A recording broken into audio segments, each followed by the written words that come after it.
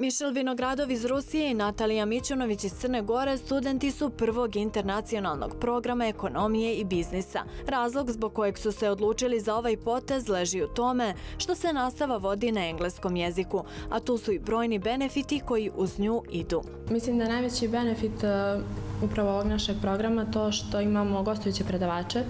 To su ljudi sa velikim iskustvom i smatram da nam na najbolji mogući način prenose to njihovo iskustvo i to je prvenstveno, ja mislim, jedan od najvećih benefita jer to drugi smjerovi ne nude.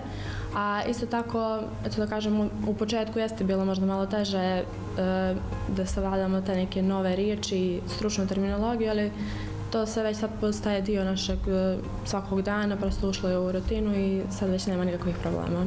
Mišel ističe da iako je samo tri mjeseca ovdje kroz nastavu kako na fakultetu, tako i onu praktičnu već je dovoljno mogao da nauči o našoj zemlji. Fakultet je već organizovao dva događaja. Obilazili smo Skadarsko jezero, Lušticu i stekli smo neka znanja o njima sa tog ekonomskog aspekta. Osim toga, primijetio sam da Luštic ima fantastične savršene pejzaže, tako da na osnovu ovoga do sad mogu da zaključim da je Crna Gora jako lijepa zemlja predavanja na engleskom, kvalitet nastavnog plana, mogućnost mobilnosti studenta, referenca predavača, organizacione prostorne i tehničke mogućnosti fakulteta samo su neki od uslova koje je zadala akreditaciona komisija, a koje je ekonomski fakultet morao da ispuni kako bi program otpočeo.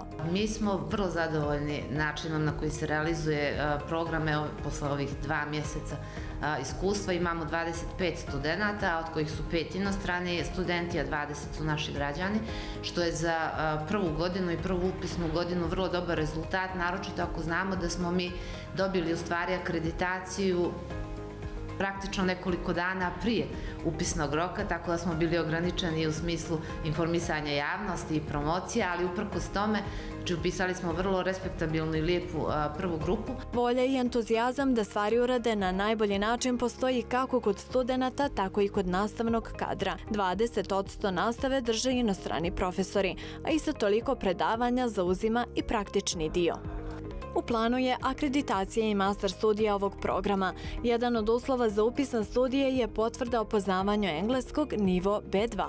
Fakultet također nudi jednomjesečnu radnu praksu inostranim kompanijama na završenoj godini studija, što će biti završena prilika da se studenti još u toku studija upoznaju sa potencijalnim budućim poslodavcima ili možda poslovnim partnerima.